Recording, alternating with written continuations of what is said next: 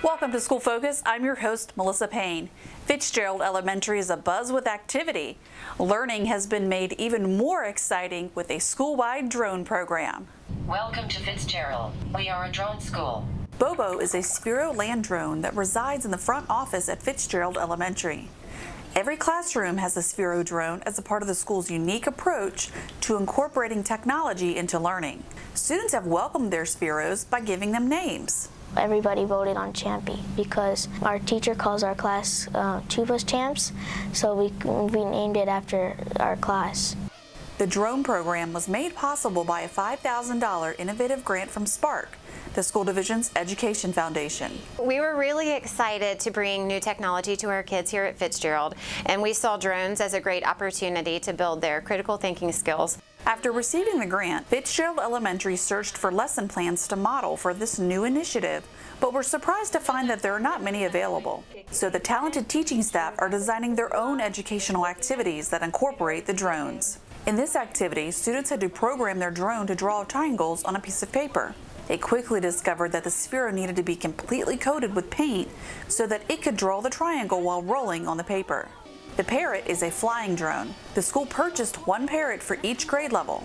While studying sound waves, these fifth graders used their Parrot to demonstrate the rise of a crest and the low of a trough. Students also use Spheros to drive the sound wave. Using drones in this activity will help reinforce the vocabulary. Instructional technology coach Michelle Dunphy hopes that the drones will help students gain insight into 21st century skills. The digital divide, I feel, used to be more about connecting people with the internet.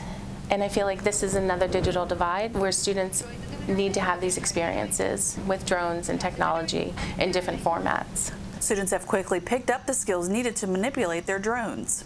Even if you make mistakes with it, it's still something that you're learning. So if you do something wrong with it, you obviously know the next time that you know how to control it better. Incorporating the drones into lessons allows for cooperative learning opportunities. It takes teamwork to solve the problems that the students are encountering. Second grader Adam T. Abdidam has enjoyed having a Sphero in his class so much that it inspired him to write a poem. Sphero, you are really fast. Sphero, you are my favorite toy. Sphero, you have a lot of electronics in you. Sphero, you are my best friend. Fitzgerald Elementary is working to establish partnerships with businesses and organizations that use drones. They hope these professionals will share with students the various ways drones are used in real-life applications. That's it for this edition of School Focus. Join us next time as we bring you more news and highlights from around the school division.